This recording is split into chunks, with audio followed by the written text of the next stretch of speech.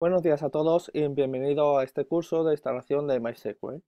Ya hemos visto pues eh, nuestras eh, dos herramientas, eh, tanto la línea de comando como nuestra herramienta gráfica, el WebSphere, pues cómo hacer con cada una de ellas, pues conectarnos a nuestro servidor y realizar una serie de comandos, ¿vale? Para saber pues esa base de datos, las tablas y demás.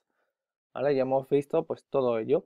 Ahora pues eh, nos queda por ver los eh, motores de almacenamiento, que los hemos eh, nombrado más de una vez, que MySQL pues dispone de varios motores de almacenamiento dependiendo de lo que las tablas que, que vayan a ser, ¿no? Dependiendo del tipo de tabla que vayamos a crear. Bueno, pues tenemos eh, como motores eh, más comunes, tenemos el motor eh, MySam, también tenemos el motor InnoDB, que es un motor transaccional, es decir, que podemos realizar transacciones, ¿vale? Podemos utilizar nuestras tablas para realizar transacciones. Y luego tenemos otro motor, que es el Memory, que nos guarda las tablas en, en, memoria, ¿vale? O sea, en vez de almacenarlas directamente en un disco, pues la almacena en memoria. Vale. Esos son los eh, motores que normalmente eh, se suelen utilizar, ¿vale? Son los más eh, conocidos, tenemos más, ¿vale? Veremos cuáles son todos los motores de almacenamiento que podemos soportar, ¿vale? Y además veremos también dos formas de establecer ese motor de almacenamiento.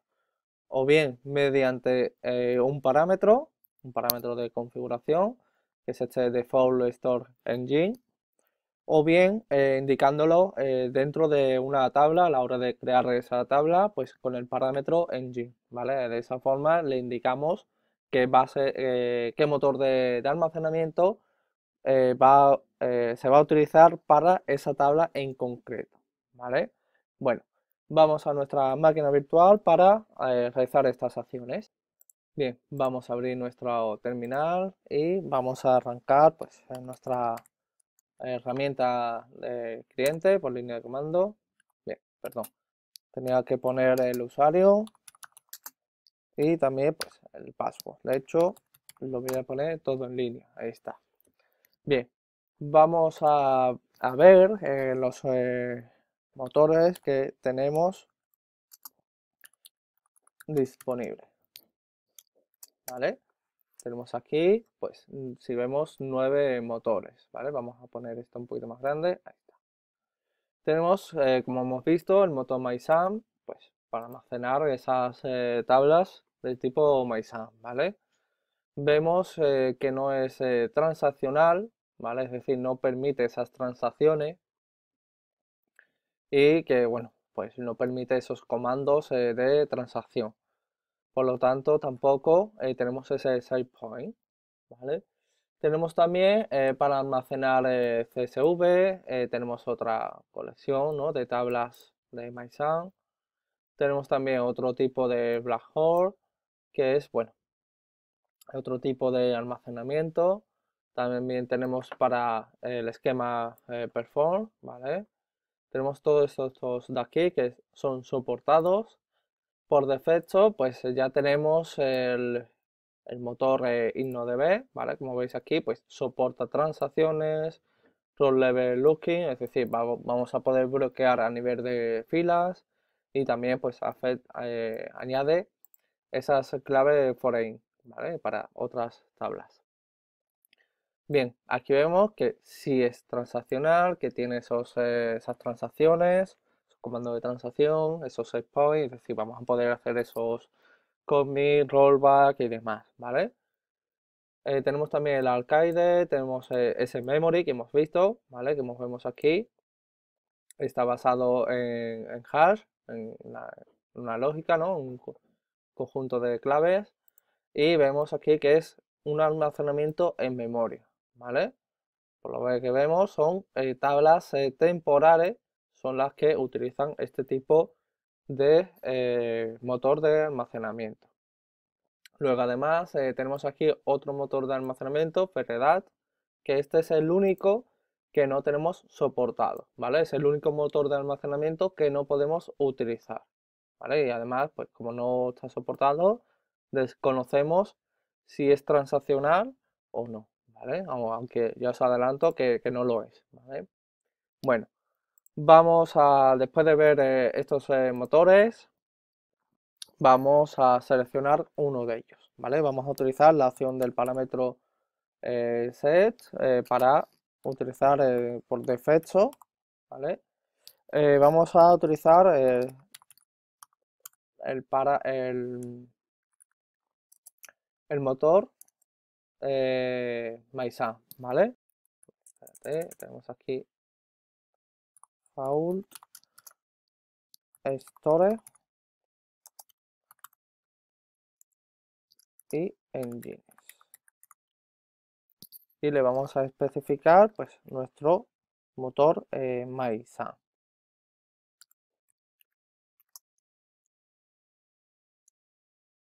Vale, parece ser que me he confundido. Vale, puesto. Además, eh,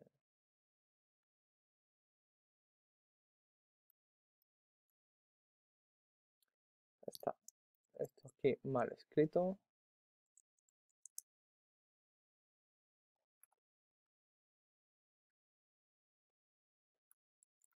Y aquí también le falta una I. Ahora. ¿Vale? Ya está bien escrito, ya le he definido que vamos a utilizar este motor de almacenamiento, ¿vale? Me dice OK, no, no está ninguna fila afectada ni nada. ¿Vale? Aquí vemos que antes teníamos el motor de InnoDB. Vamos a volver a ejecutarlo. Y ahora vemos como tenemos eh, por defecto pues el motor MySound, ¿vale? Es decir, todas las tablas eh, que creamos que nos indiquemos en qué motor vamos a crearla, excepto eh, las tablas eh, temporales, pues se van a, utilizar este motor de eh, almacenamiento. Por lo tanto, ahora mismo no podría utilizar transacciones, ¿vale? Bien, vamos a utilizar una base de datos, vamos a utilizar la base de datos MySQL y vamos a crear una tabla. Vamos a crear la tabla, pues ejemplo, vamos a poner em, tabla prueba que va a tener pues dos eh, columnas, una columna, perdón, de tipo entero y le vamos a especificar el motor ng, el InnoDB, ¿vale? Le vamos a meter pues ese, ese tipo de motor, ¿vale? Vemos ahí como pues nos crea eh, nuestra tabla, ¿vale? Directamente, ok, ¿vale? Ya la tenemos ahí. Y ya pues hemos creado esta tabla, aunque estemos utilizando el motor de Maisan, pero eh, esta en concreto va a ser de InnoDB, ¿vale? Bien, vamos a, utilizar ahora el parámetro eh, ShowTable para mostrar pues esta tabla en concreto, ¿no? ¿Vale? Vamos a ver pues todas las tablas.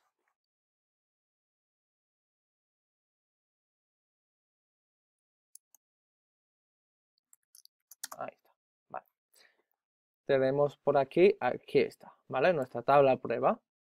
Tenemos ahí esa tabla. Bueno, si vamos a la utilizar a describe, ¿no? Eh, nuestra tabla prueba para ver pues sus columnas.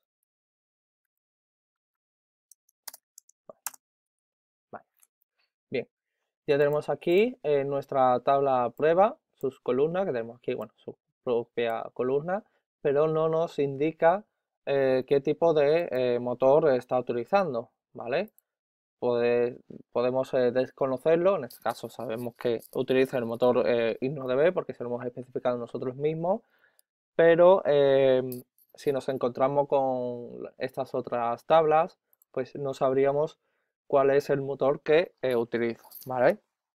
Bien, para ello tenemos eh, más opciones a la hora de eh, ponerle nuestro show table, que sería pues indicar el estatus, ¿vale? indicamos con el status, nos indicaría pues el estado eh, de todas eh, las tablas. Es decir, nos muestra mucha más información de cada una de las tablas. En este caso, como solamente quiero esta tabla de prueba, pues le voy a especificar que me muestre solamente esta en concreto, ¿vale? Le ponemos aquí su nombre, y además eh, la vamos a poner con el bar G, ¿vale? Para que nos muestre mejor la información. Aquí tenemos eh, su nombre que se llama prueba, tenemos también pues su motor de almacenamiento que es signo de ¿vale? Esto es lo que nos interesa en este momento. Además también, pues bueno, tenemos otra versión, eh, también que el formato de las filas es dinámico, nos muestra también el número de filas que tiene, el número de, datos, eh, bueno, una media de filas, de los índices, en fin, una serie de, datos, ¿vale?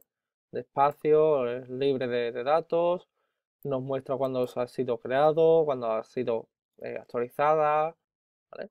Nos muestra pues eh, más esos datos, ¿no? Lo que nos interesa sobre todo que es estar en el motor el InnoDB. Bien, lo que vamos a hacer ahora es eh, cambiar de este motor de InnoDB al memory, por ejemplo. ¿Vale? Pues para ello, con la acción alter table, pues eh, indicamos el nombre que es la tabla prueba y le indicamos el parámetro, es el parámetro en jeans y le indicamos pues esa ese tipo de motor que es el memory. ¿Vale? Vale, espérate que le ahí otro esto Ahí. Ahora. Bien, ya hemos eh, cambiado al motor memory y bueno, nos da ese ok, nos dice que no ha habido ninguna fila afectada, puesto que ni siquiera tiene ninguna fila, esta tabla en concreto. Y también, pues, eh, que no, no hay ningún duplicado ni nada, ¿no? No, no tenemos ningún problema. Bien, lo que sí vamos a ver va a ser eh, de nuevo esta tabla y vamos a ver cómo efectivamente pues, nos ha cambiado ahora del motor de almacenamiento, ¿vale? Antes teníamos, mira, vamos a ponerlo un poquito más grande, Aquí antes eh, teníamos el motor eh, de InnoDB y ahora tenemos el motor de memory, ¿vale? Y como vemos, pues cambia eh, algunos parámetros también, ¿vale? Tenemos ahí, pues, otros tipos de datos, Como por ejemplo, pues el tamaño máximo de datos que puede soportar, por ejemplo, o también pues la fecha en la cual se ha creado ahora en este momento. Bueno, pues eh, de esta forma eh, le indicamos a una tabla cuál va a ser eh, su motor de almacenamiento y también pues mediante el parámetro default store engine le indicamos que para todas esas tablas que vayamos a crear va a tener por defecto ese motor, salvo que se lo especifiquemos a la hora de crearlo o cuando eh, modifiquemos esa estructura indicándole con ese parámetro ng. De esa forma, pues le especificamos a nuestras eh, estructuras de datos el motor eh, de almacenamiento, el engine que va a utilizar. De esa forma, pues podremos utilizar esa tabla con transacciones, si es el motor InnoDB o en la propia memoria si es el memory, ¿vale? Esa forma es la diferencia en sí de, em, de tablas, ¿vale? De motor de almacenamiento. También tenemos el MySAN que tiene también demás sus eh, características. Bueno, cada uno de ellos eh, pues tiene unos eh, comandos, unos parámetros específicos también que hacen que funcione mejor uno que otro. Siempre vamos a utilizar un motor de base de datos eh, dependiendo de lo que vayamos a almacenar y de lo que vayamos a utilizar en sí. ¿vale? Si simplemente vamos a utilizar eh, la memoria para realizar tablas, consultas muy rápidas, pues nos convendría mejor que esas tablas estén en memory, ¿vale? De esa forma van a ser mucho más rápidas que si tiene que ir al disco a devolvernos nuestros datos, ¿no?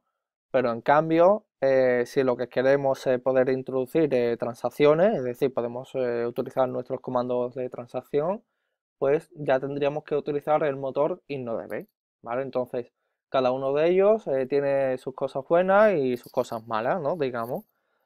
Y siempre y cuando la vamos a utilizar, pues dependiendo del uso que le vayamos a dar. Así pues, eh, terminamos eh, con, este curso y donde hemos eh, visto pues desde cero todas las distribuciones de MySQL que tenemos disponible. Hemos instalado en una de ellas, hemos visto cómo nos conectamos, hemos visto las dos herramientas clientes más populares, ¿no? y también pues eh, estos eh, motores de almacenamiento. Así pues, hasta luego.